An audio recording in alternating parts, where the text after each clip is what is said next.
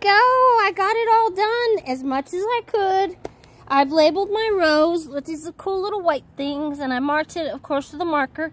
But water's going to wash that off and if it faces the sun, it will fade. Then you won't know what on earth you're growing.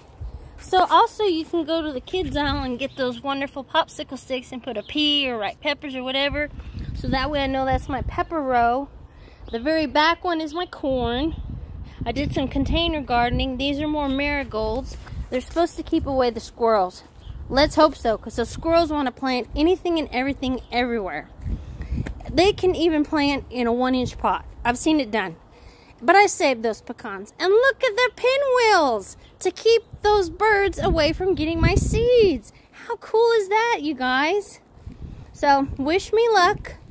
I also brought some dirt from the land. Hopefully something will grow in there.